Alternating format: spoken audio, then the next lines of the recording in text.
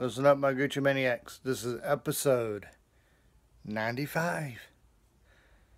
I got 96, which I want to do live on Facebook. So I got 96, 97, 98, 99. What's after 99? That's right, 100.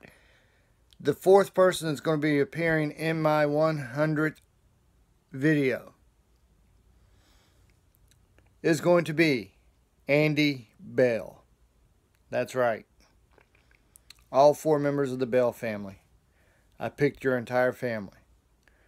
Mr. Bell, Beth Bell, Elliot Bell, and Andy Bell because y'all four have been following me since the beginning and y'all make me feel like one of the like the luckiest guy on earth.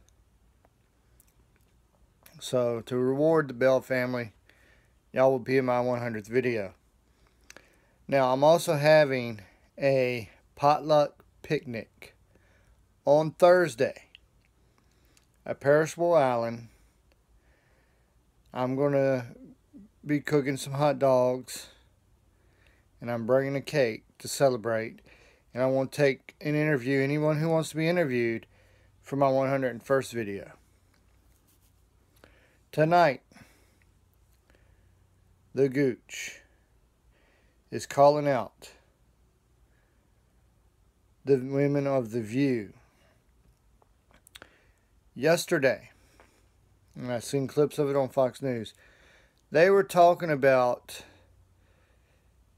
uh, President Trump taking out the part of the Obamacare where employers have to provide sec you know like uh sexual protection you know like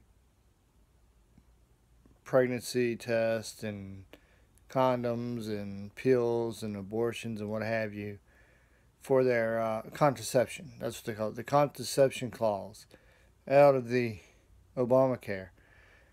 Because it's not right that people of religion especially christians because you have some Christians who don't believe in any kind of birth control.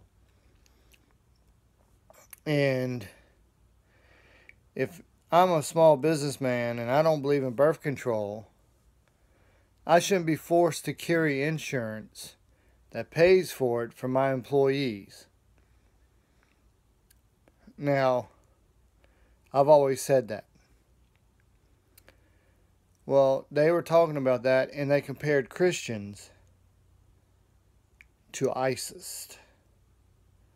How disgusting are you hoes over there on the view to be comparing Christians to ISIS. Let me tell y'all something. Christians don't go beheading people who refuse to convert to Christianity. In fact, they're the ones getting beheaded by ISIS and people who worship Islam.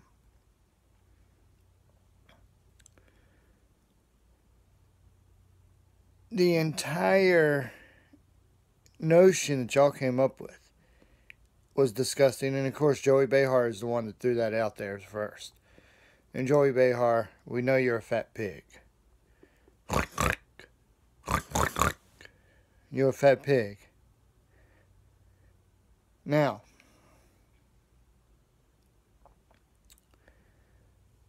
if you really want to shut down the thing, yes, ISIS and Islam does not agree with homosexuality, but they believe you should kill the homosexual.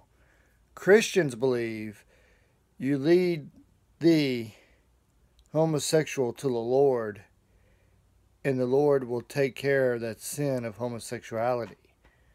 That's a very big difference. And of course, y'all might say, well, once you're gay, you're never, you know, you're, always gay. No, because I got a lot of friends who are gay right now, but they're not Christians. I got a lot of friends who used to be gay, who are Christians, and most of them have married people of the opposite sex. Now, and I'm not going to name names because it's not my place to name them. But, quit comparing Christians to ISIS.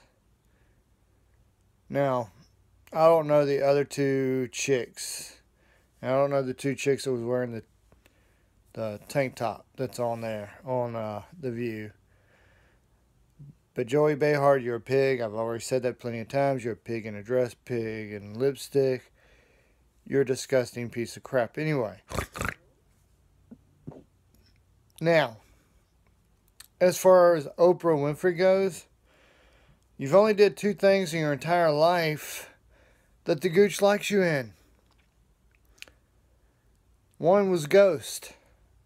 And then Patrick Swayze carried you all the way through that movie. Because you're not that great of an actress.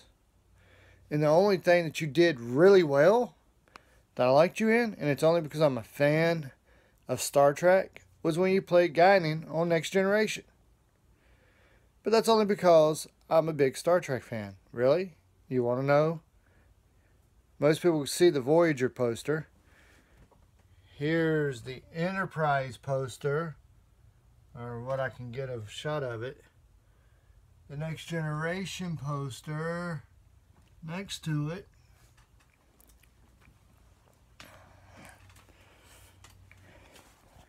the original series poster.